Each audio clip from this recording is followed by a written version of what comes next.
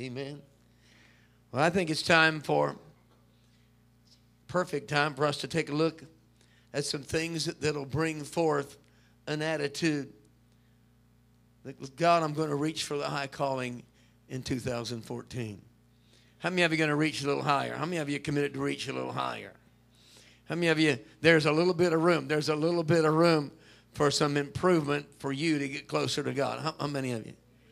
My hand's up. Both my hands are up. Hallelujah. Because we live in a pressurized time. We live in time when so much is pushing against the world and against people. And now we Christians, we got the same pressures that the world has, but we also have a relationship with Jesus that we're doing everything we can to walk circumspectly. Amen. So that adds to our that adds to our stress. That adds to our commitment. That adds to the uh, to the desires that we have to go forward. Amen. I don't know about you, but uh, we, we, we are like fish in a fishbowl. People are watching. How many of you know that? How many of you know our, our witness is important?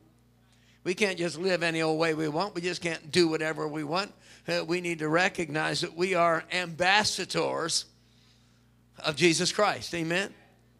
We are ambassadors. That means that, uh, that, that it's okay that people watch us and can identify with us and say, I like what you have and I want what you have because of our witness and our attitude about God. Amen. Apostle Paul uh, came to that conclusion in Philippians chapter 3 and verse 14, if you'll turn there with me. How many of you have your Bibles with you?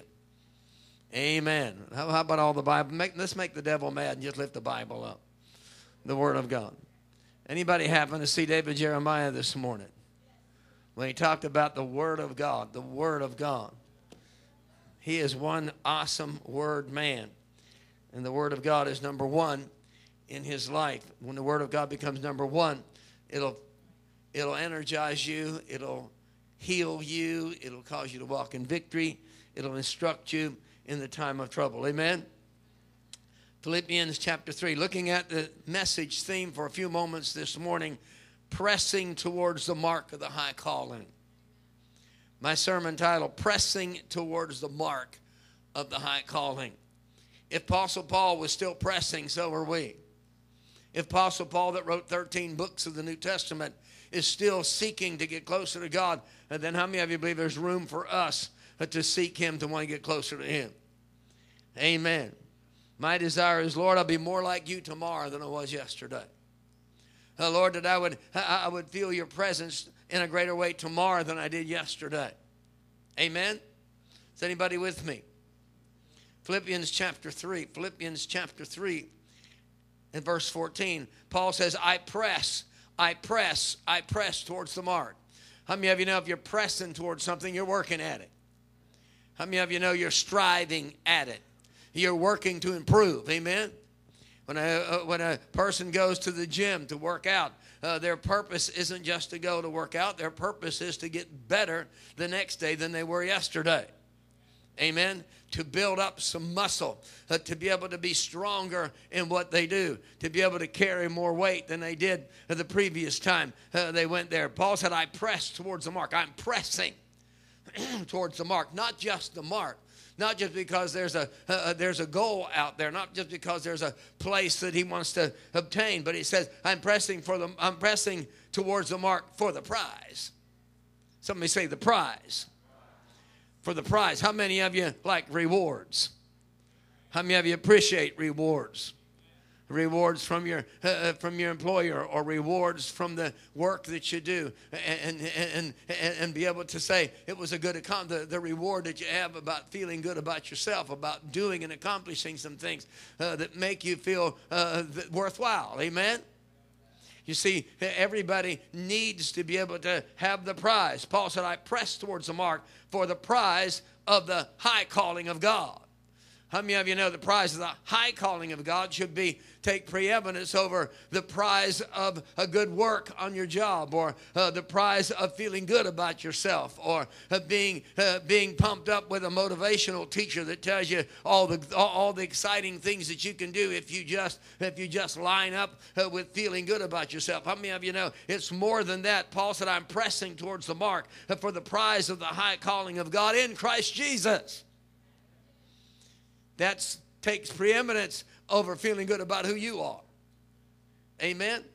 We need to be pressing. We need to be pressing. Listen, church, I'm going to I'm, I'm going to encourage you. I hope this is an encouraging message this morning uh, to bring you to the point uh, not to look to yesterday. Uh, don't uh, don't go down 2014 in the rearview mirror of 2013.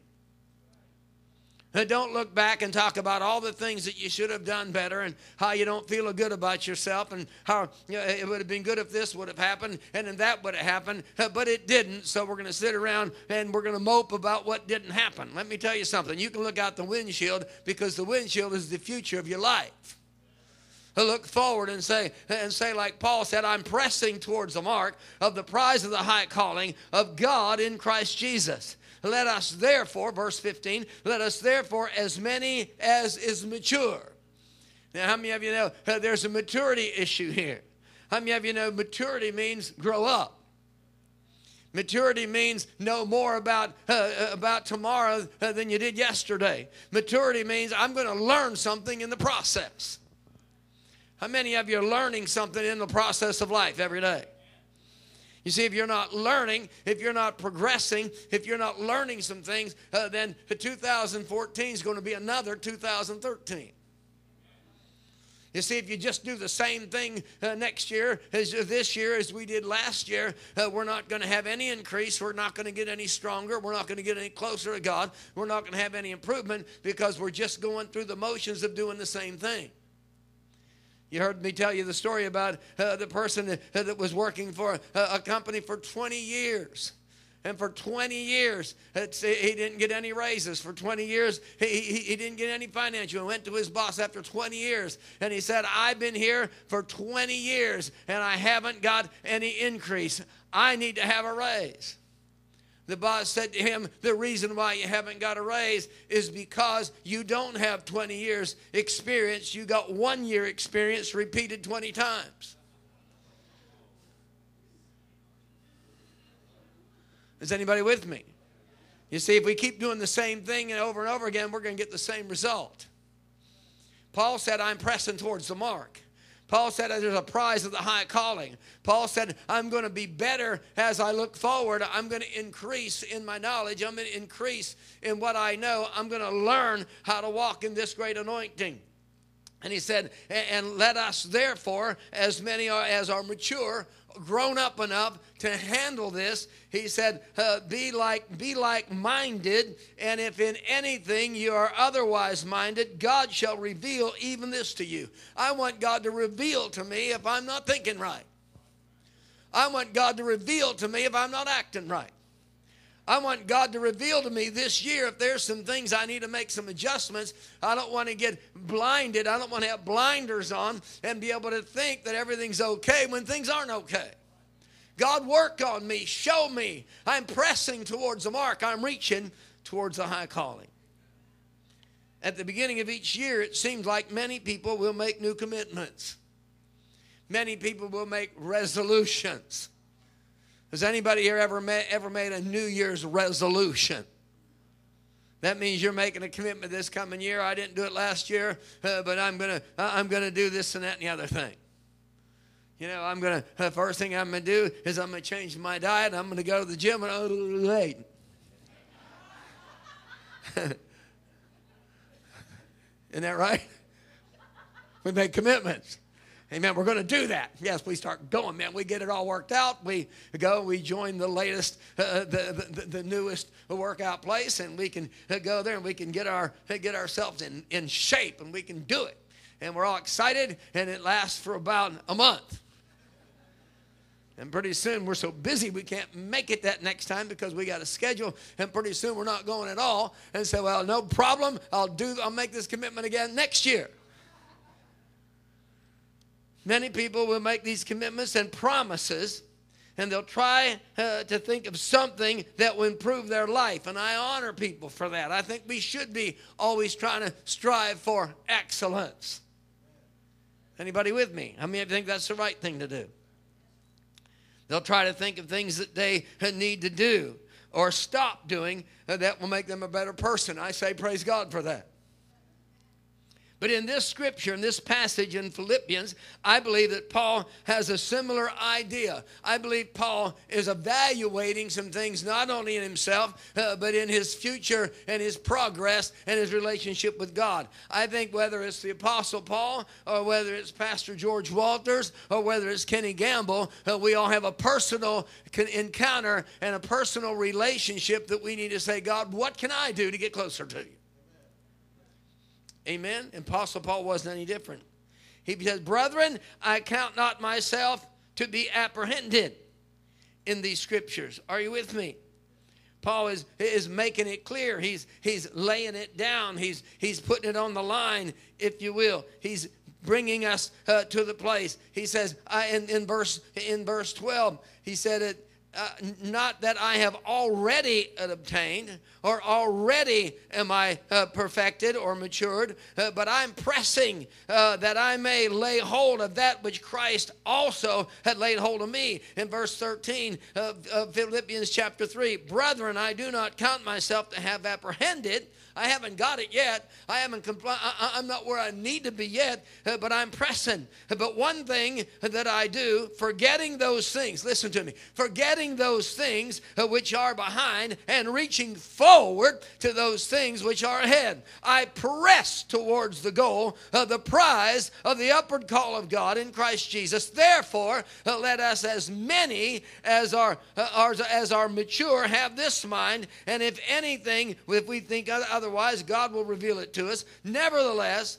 uh, to the degree that we have already obtained, let us walk uh, by the same rule. Uh, let us be of the same mind as God and the Word of God. Hallelujah. Somebody ought to rejoice in that. Pastor, I know these scriptures. Uh, I, have read them before. Uh, that's good. Uh, now that you have read them before, now you're being reminded uh, that Paul wants us to press forward. He wants us to improve next year. He wants this coming year to be the best year that you ever had. We don't have, I don't think we have a whole lot of years ahead of us. I believe we're getting closer to the end. I believe God's going to wrap this package up. I believe that, there is such a thing as the coming of the Lord. I believe Jesus is coming for a church and coming for a bride without spot, without a blemish, without a wrinkle. I believe God's going to uh, uh, bring down His glory like never before. I believe there's going to be another big outpouring and a revival of God uh, before the end time. And I believe God's going to bring it quickly. I believe the anointing's going to flow. I believe this world, it seems like it's, it's, it's, it's, it's in a self destruction mode, and the world seems to be uh, uh, going to hell in a handbasket. I want you to know that God's going to redeem. That God's going to redeem the redeemed, and He's going to bring the church up to a high place, and it's going to be the church's greatest hour, and the power of God's going to move. Souls will be saved, and lives will be changed. Hallelujah. Paul says, Brethren, I count it not myself to have apprehended Paul says, But I've not completely grasped everything that I can for Christ. I'm not where I want to be yet. Can anybody else say that? I'm not where I want to be yet. I've got a desire inside of me to get closer to Him. I got a desire to, uh, to do more for God. I got a desire uh, to cross that finish line with victory and with the anointing, not dragging across, uh, not a weakly just barely making it, but I want to go across that finish line with gusto and with victory and with power and with anointing. I want God to say, Well done, thy just and faithful servant. I've not yet let learn. Paul's saying, I haven't learned all the things I need to learn. I've not yet done all the things that I want to do for Christ. Paul was very was a very godly man. He was a very godly Christian, but even in his life, he knew that there was more that he could do for God. By the uplifted hand, how many of you can say, Yes, Pastor, me too? I know, uh, as much as I love the Lord, I know there's more that I can do for God. I know there's more room for me uh, to, uh, to, to uh, walk in a greater dimension of victory with Him. Forgetting those things which are behind. Forgetting those things. Paul said, Forget those things which are behind. And meaning forgetting all a lot of times when we say forget the things that are behind, uh, we're talking about the bad experiences, uh, we're talking about those that hurt us, we're talking about the wounds that we had in our life, we're talking about uh, we're talking about scars from childhood, we're talking about uh, uh bad relationships that we had and, and, and, and we set them aside and we're trying to recover. Let me tell you, Paul was talking about more than just bad experiences. Is anybody with me? Listen to me a minute. Uh, Paul said, "Forget those things which are behind." Sometimes we think we need to think about we, what we have done good and forget about them. Sometimes we need to quit camping on yesterday's great experience. Oh, yeah, I remember when the church was full, and I remember the outpouring of the Holy Ghost, and, and, and I remember uh, back in those days when God would move, and, and people would be slain in the power all night long. And, and listen, that's yesterday. We can't camp on yesterday's outpouring. We can't camp on yesterday's anointing. We can't camp on what God did. Those are good things to remember uh, to show us that God is still on the throne. Uh, but Paul's saying, uh, now, now we can rest. Paul said, I'm not going to think about what I have done in the past. I'm going to look about what God has for me in the future. Does anybody have any excitement for the future? Does anybody have any vision in this place that God's going to do something mighty with you? He's going to use you to change people's lives. He's going to use you to win souls to the kingdom. He's going to use you to impact the world and impact this community, to bring power and God's anointing into this community. He's going to use you to do it. Look at somebody next to you and say, He's going to use you. Paul was saying, I'm not going to, I'm not, I'm going to forget about all the things, good, bad, and ugly in the past, uh, but I'm going to think about what I can do in the future. How many lives can I touch? How many hurting and broken people uh, can I, uh, can God use uh, me to mend up? How many people can I reach out and tell them that they're loved and they really, and God really does love them? How many people can I help break through uh, the, uh, the hurts of the past and go forward? How many people can I touch? We must realize uh, that we are never, we are always in a never ending battle. There's always something going on. There's always a battle going on. There's always an enemy trying to bring you down.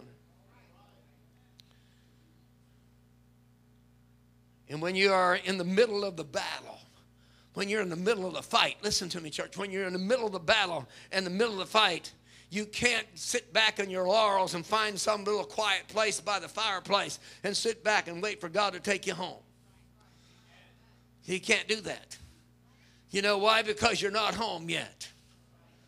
When you get home, then you can shout the victory and say, Lord, I thank you. You've brought me all the way through. But until then, we still got a, we're, we're in the midst of a fight. We wrestle not against flesh and flesh and blood, but spiritual wickedness in high places.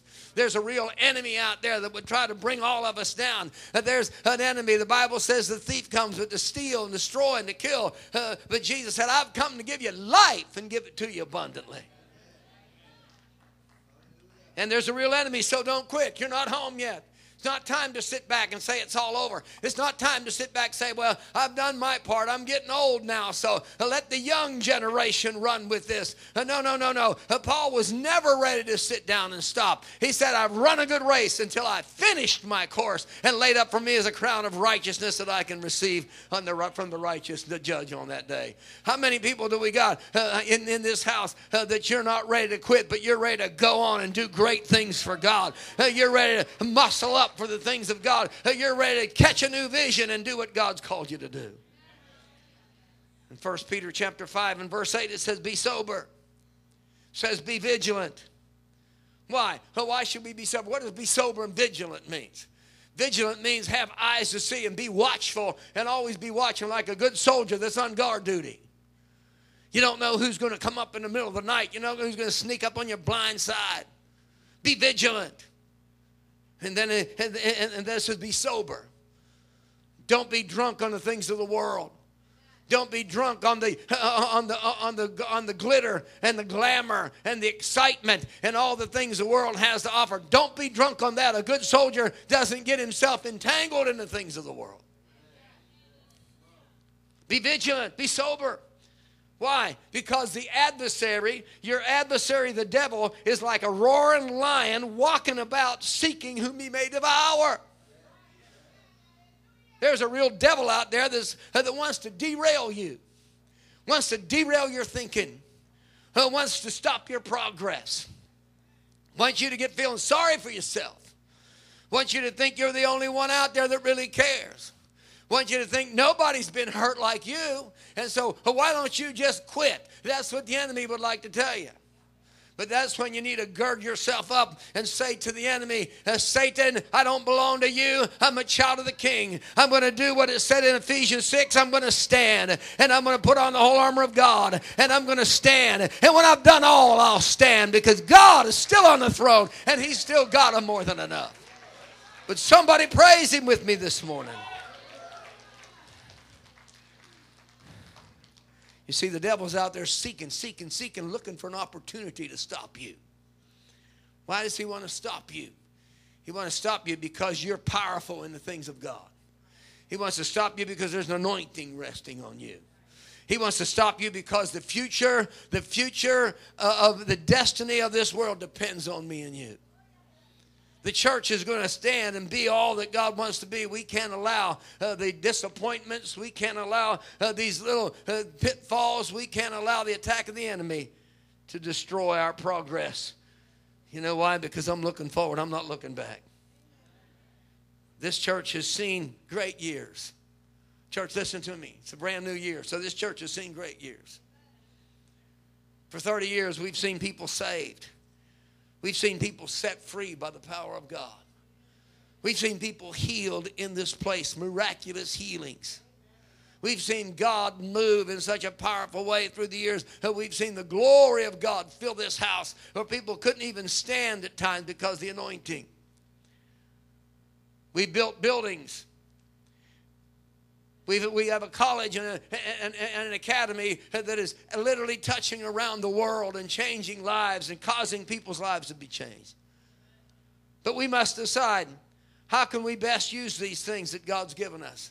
How can we use this building and, and, and the souls have been saved and the lives have been changed and what we've learned uh, to reach out and touch people? What can we do? Uh, are we going to sit around and talk about how, how good and, and all the things that happened yesterday? Or are we going to look ahead and look forward and reach for the high calling of God and say, God, maybe this has been a good ministry. Maybe good things have happened, but we haven't seen nothing yet. That God is still on the throne and there's still lives that need to be touched through the college and the school and the church reaching forward to those things which are before us, I press towards the mark, Paul said. What can you do to have a better relationship with Jesus? What can I do to draw closer to Him? What can I do to help, help others hear the gospel message? What can I do when I realize that Jesus died so that people might be saved?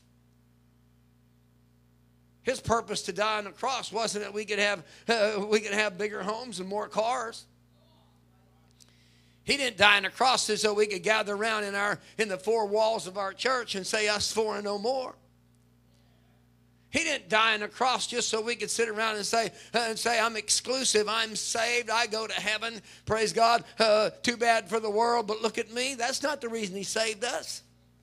He saved us that we might have a, a, a, a, passion in our hearts and, and, and we might hurt for the lost and dying world and maybe we might weep over the undone and the broken until they come into the kingdom and we might do everything we can to share the gospel message.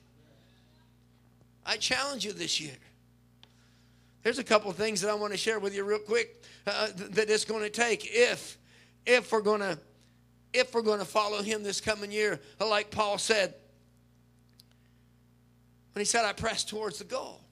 I'm pressing, I'm pressing, I'm pressing for something more. There's some things that have to take place. First of all, number one, if we're going to press towards the, uh, the goal, we're going to have to have great faith. I said we're going to have to have maybe greater faith. Maybe we're going to have to believe God in a greater way than we've ever believed Him before. Oh, it's real easy. It's real easy uh, to believe uh, to, to, believe God when you got all uh, when you got all the benefits in your in your work package. Oh, it's real easy uh, to believe God when you uh, when you know you got a good insurance program and you got a uh, and you got a good retirement package and and you got money in the bank and all. It's really it's really easy to say, "Oh, I'm believing God." Can we believe God? Can we have the kind of faith to believe God if everything is ripped out from under us and we don't have nothing? Uh, can I say, God, I have you, and that's more than enough? I got a God that's going to see me through. I got a God that's bigger than any mountain and bigger than any circumstances. And God, I'm not going to fold because the world system is falling apart, but I'm going to stand because I got you, and you're a God of more than enough. Hallelujah. We're going to have to have that kind of faith. Hebrews chapter 11 and verse 6. But without faith, without faith, it's impossible to please God. You can't even please Him if you don't have faith. This Christian walk isn't, isn't a, a, a walk that, that, that, that depends on what I can feel, see, and touch. This Christian walk is the kind of walk uh, that I have to depend on what I can't see and what I can't feel and what I can't touch. And I read the Word of God, and God says that I am God more than enough. And I say, Yes, Lord, I believe you. I don't see it yet. You want to talk about a faith walk? Spend a little time with uh, Lennon McDowell and, and, and, and what it's like to go into a third world country and into the poorest section of the country and try to raise up a school and have all the children come, 50 children come to their school, and that nobody's paying nothing because they can't afford it. How are you funding that? Uh, Lennon McDowell. How, where are you getting your money from? How are you getting money to travel back and forth and to build the schools and get all the curriculum and, and, and pay the teachers? How you doing it? Well, that's when you get better get some great faith because God is still their source no matter what the circumstances are. Is anybody with me? We have, we have to have great faith. I believe uh, that without faith, the Bible says it's impossible to please God. You must learn to trust Him. Listen, how many of you uh, will take the challenge with me? Uh, Lord, I want to trust you more in 2014 than I've ever trusted you before. Lord, I want to trust you. Maybe I can't, maybe I don't know where it's coming from. Maybe I don't know what is going to happen next week. And maybe I'm not sure what's going on around me, but I serve a God that knows. Hallelujah. And not only do we have to have great faith if we're going to make this stand that Paul said when he said, I'm pressed for the mark. I'm pressing for the goal, the prize for the high calling of God in Christ Jesus. Therefore, let us, as many as are mature, have like mindedness with Him. Uh, the first thing is you have to have some great faith if you're going to do it. If you're going to press towards the mark in 2014 and your life is going to change, number two, oh, listen, number two, don't be a complainer. I said, don't be a complainer. In the Old Testament, you know what, uh, what made Israel, uh, what, what, what shut Israel down from moving into the promised land and getting the blessings of God? They were complainers that grumble about this and complain about that, and they wanted to go back to Egypt and eat the leeks and the garlics, and, and, and they complained that, uh, that Moses didn't do a good job, and, and they complained that God didn't give them enough uh, water, enough meat to eat until He gave them so much they choked on it. You start complaining about God, He'll answer your complaint, and, and, and, and He'll gorge you with what you think you don't have. Is anybody with me? Listen, uh, church, the body of Christ should not be complainers. We've got too much to rejoice about. We got too many things that's good in our life. Uh, I, I, my friend Holmes Williams is one of my dearest friends, pastors the largest church in the Caribbean, People's Cathedral. Uh, my pastor up in up in Flat Rock, Alabama. Uh, these two men are in their uh, Holmes is in his 70s and, and, and, and Virgil's in his 80s. And every time I get around them, all they do is talk about the goodness of God. They might have aches and pains, and maybe they can't get up in the morning like they used to, and maybe they have to still uh, do some things to keep going, but you never hear them complaining about it. And they're saying, Oh, how good God is. I serve a God of more than enough. God's always meeting my need according to his riches and glory. When we stop complaining and start praising, You start praising, you'll find out the power of God will start to move through us and your needs will be met. You see, we need to not complain. And then number three, number three, quickly, you must believe. You can't have faith unless you believe. You must really believe that the Word of God is true. We must believe if we're gonna if we're gonna uh, if we're gonna press towards the mark. Uh, let's have a, a belief system in us that believes God uh, like we've never believed Him before. If, God, if the Word of God said by His stripes we're healed, let's believe that God is really our healer, and He's a God of more than enough, and He'll heal you if you just have faith to believe it. Amen. You got a family member that needs to be saved, get, get saved. You've been praying for them. You've been seeking God. Uh, listen, uh, what would believe, what, what, would happen if you would believe so much uh, for their souls to be saved? You would believe so much that God's going to send the right person by at the right time. That God would dispatch, dispatch an angel in their behalf. Uh, that they will come to the Lord because of your belief system. We must believe that the things that we receive from God are far better than the things that we can get from the pleasures of the world. First you, first, you have to believe that He is. Believe that He is. If you don't believe that He is, you don't believe that He's going to do anything for you. Are you with me? This is more than just knowing God's existence. James chapter 2 and verse 19 says, We must believe that there is a God. We must believe uh, that there is a God. And we must understand that the more we believe in Him, uh, the more real, the more reality comes in our life. And He's a God of more than enough. You must have a personal relationship with Him. None of this is going to work for this coming year if you don't have a personal relationship with Jesus Christ. Jesus said to Nicodemus, over in the corner as he's ministering to Nicodemus, the ruler of the Jews, uh, went to the synagogue every day. But Jesus said, Nicodemus, listen, you might be religious. You might think you know all about uh, the Word of God. You might think you know all about religious order. But he said, listen, here's the key. Unless a man is born again, unless you've had a personal encounter with him, unless you've had a personal relationship with Jesus Christ, you'll never even see the kingdom. Number four, I'm going to finish this tonight. Need to come back so we can uh, so we can finish this uh, message and then break bread together. But number four, if you're going to reach for the high calling, press towards the goal, you must communicate more with God. I said you must communicate with Him. Communication isn't a one sided prayer. Anson